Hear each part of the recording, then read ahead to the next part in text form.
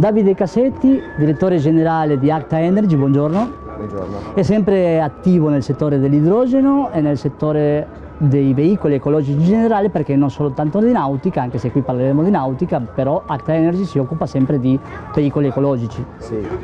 Eh, in questa fase siamo, eh, stiamo cambiando un po' la nostra filosofia aziendale, nel senso che eh, ci siamo concentrati molto sulla nostra tecnologia, quindi sulla generazione dell'idrogeno e sul suo utilizzo. Abbiamo coinvolto diversi partner che ci stanno aiutando nel, nel completamento di tutte le applicazioni. Quindi ACTA rimarrà focalizzata sul suo business eh, originario che è quello della ricerca e sviluppo eh, di sistemi per la generazione di idrogeno che siano sistemi facili da usare ed economici. Eh, per quanto riguarda le applicazioni invece tutto ciò che noi abbiamo sviluppato finora, eh, che avete già visto, quindi il motore elettrico, il generatore di corrente, eh, la pensilina generatrice di idrogeno, eh, sono stati affidati ai nostri partner che per nostro conto stanno completando i singoli progetti e noi poi ci occuperemo della commercializzazione. A sua volta però noi abbiamo fatto un'intervista con l'ingegner Valli eh, in occasione della fiera di Carrara quest'anno e abbiamo visto questi prodotti, però comunque eh, sono prodotti che vanno sviluppati permanentemente in Alta Energy, anche se visivamente sono esattamente uguali. Esattamente, rimarranno gli stessi identici prodotti che abbiamo uh, sviluppato e che abbiamo completato noi in Acta. Noi abbiamo solo la necessità di continuare a svolgere il nostro lavoro che è quello di sviluppare tecnologia eh, e i partner ci accompagneranno dal punto di vista industriale. Adesso io non so se si può dire, però Acta Energy è attiva anche a livello internazionale, ci sono eh, diversi accordi commerciali con altri paesi, non voglio dire quali, eh, anche perché non li conosco, però eh, sta andando avanti questa, tutto questo lavoro di partnership con altre aziende per sviluppare eh, sempre nel settore dell'idrogeno diverse tecnologie? Sì, stanno andando avanti, sono accordi che riguardano l'utilizzo di carburanti rinnovabili.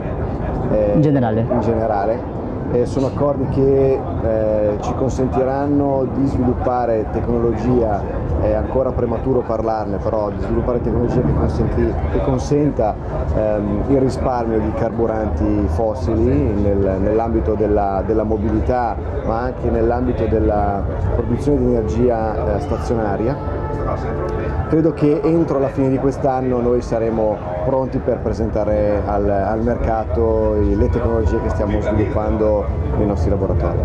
Uno dei principali progetti che io so che avevate eh, sviluppato tempo fa è un brevetto eh, per collaborare con delle casse automobilistiche per l'iniezione di idrogeno nei motori a scoppio.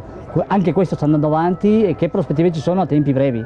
Sta andando avanti, stiamo eh, procedendo nel nostro eh, processo di test sia in laboratorio che su strada con eh, tecnologie parallele eh, per vedere quale sia effettivamente la, eh, la, tecnologia più efficace in questo tipo di applicazione. L'applicazione è quella di iniezione di idrogeno ehm, nell'aria eh, di aspirazione dei motori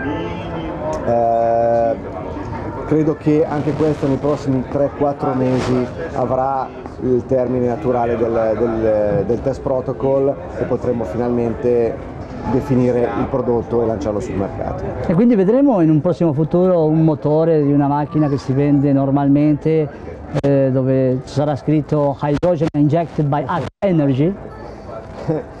La questione della collaborazione con le case automobilistiche è molto complicata. Molto. Il nostro obiettivo è quello di cominciare subito con l'aftermarket che è eh, il mercato più immediato dove l'evoluzione tecnologica si può sviluppare molto più velocemente. Le case automobilistiche hanno i loro tempi, eh, ci stanno, abbiamo contatti, abbiamo continui scambi di informazione, sarà un processo molto più lungo, eh, il fatto di avere anche dal punto di vista commerciale eh, il mercato dell'aftermarket, quindi il privato che richiede la tecnologia, impedirà poi in un futuro di evitare che le case automobilistiche blocchino questi progetti sul nascere. Invece riguardo il settore della nautica, ci sono stati presentati l'anno scorso dei gommoni a idrogeno eh, le case nautiche sono anche propense a uno sviluppo di questa tecnologia o sono molto più chiuse, diciamo così? Devo dire che una volta che gli armatori hanno cominciato a chiedere questa tecnologia, allora anche i cantieri nautici si sono affacciati, quindi noi siamo nella zona di Pisa, di Livorno, è un, un centro di cantieristico molto forte, abbiamo cominciato a ricevere le prime richieste di, di collaborazione.